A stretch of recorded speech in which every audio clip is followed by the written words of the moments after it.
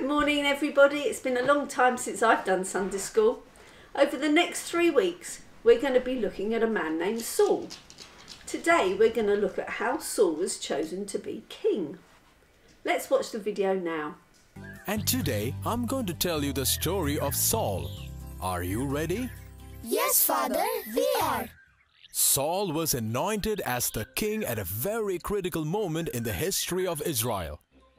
Philistines were very powerful and they were taking away the land that God had promised Israelites. The very existence of Israel was threatened.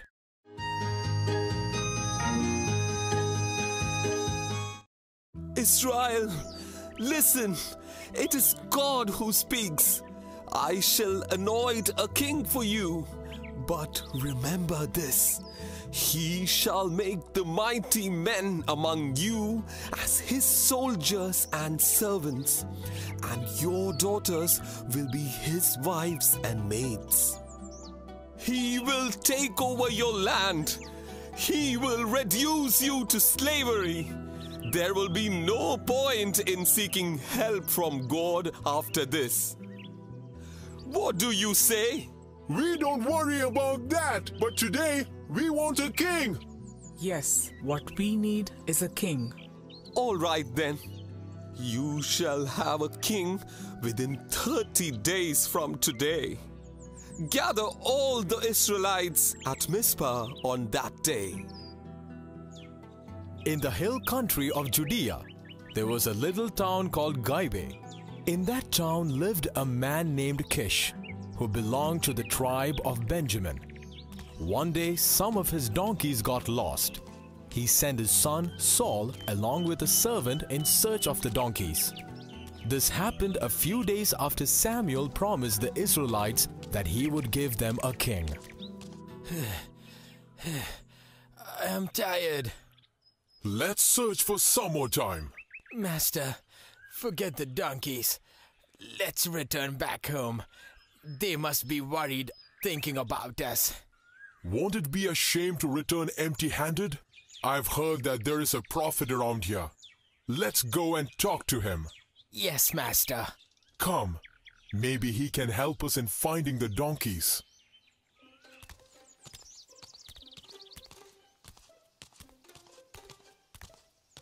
Hey, look, there's someone there. Let's go and ask him. Hey, hello, sir. Yes, how can I help you? Sir, we heard that there is a prophet around here.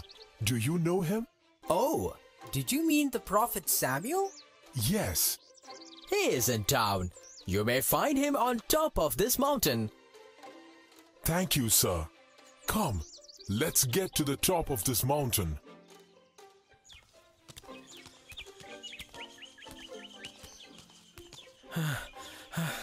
Have we reached, Master? Yes, we have reached the top. Oh, there's someone over there. Let's go and ask him. Excuse me, sir. Yes?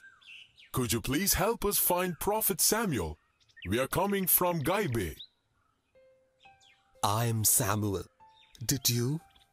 Did you just say that you are coming from Gibeah? Yes, we are from Gibeah. And is your name Saul? Whoa! Yes, my name is Saul. But how did you know? God, it's like you told me in my vision. Thank you, God. Master, we come in search for our donkeys. They were lost a few days back. Don't worry about the donkeys anymore. They have been found. Come with me. You can stay with me tonight. Yes, Master.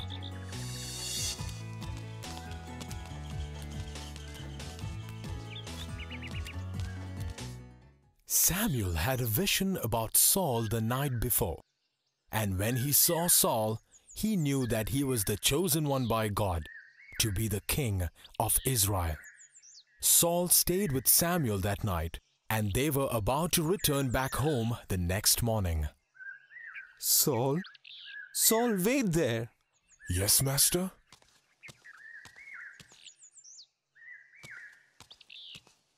Saul, I want to show you something. Tell your servant to go on without us. You go ahead. I'll join you in some time. What is it, Master? Why did you want me to stay? Kneel down, Saul. Yes, Master. Saul, God has anointed you to be the king of Israel. You will save God's people from their enemies. Master? I. I don't think I'm worthy. I come from a humble family. So, what did we hear in this story? Saul was an ordinary person out looking for his lost donkeys. He met a prophet called Samuel who had been talking to his people and they were looking for a king. God had told Samuel that Saul was the person to do the job. So Samuel took Saul aside and told him that God wanted him to be king. How do you think Saul might have felt about that? I don't think he felt important enough to do such a job. I don't think he was really prepared for the task either. Being a king is a big responsibility. But God had chosen Saul, which meant that Saul was very, very important to God. Have you ever been given a job or role you didn't feel ready for? Who chose that role for you? And who helped you succeed? Why don't you have a chat with those in your household now about this? Did you talk to God at these times and listen and ask for His help and guidance and trust in what God had said? Listening to and hearing from God is something we can practice, and over time it becomes easier to hear and recognise God's voice. Some of you might question whether what you are hearing is from God or just your own ideas and thoughts. As with all aspects of following God, we must have faith and trust that God wants us and does want to speak to us. On our website, you'll find some ideas on how to listen to God and also a couple of crafts. One of the crafts is a pin the tail on the donkey to remind you about the donkeys that Saul lost, but also I've put a craft on there which is a listening pillow. It's really easy to make and it can be made out of household things. The story of Saul didn't believe, sorry, in the story, Paul didn't believe he was important enough to, to be chosen by God. He questioned what Samuel was saying. God loves each and every one of us and wants us to speak, uh, speak to us, as none of us are unimportant to God. So it's up to us to listen to what God has to say. Let's finish our session with a prayer. Dear God, thank you for the story of Saul being chosen by you. Thank you that even though Saul was from the smallest family in the smallest tribe, you chose him to lead your people. Help us to be like Samuel, listening to you and living in obedience to you. Help us to see ourselves through your eyes and to trust that you want to use us too.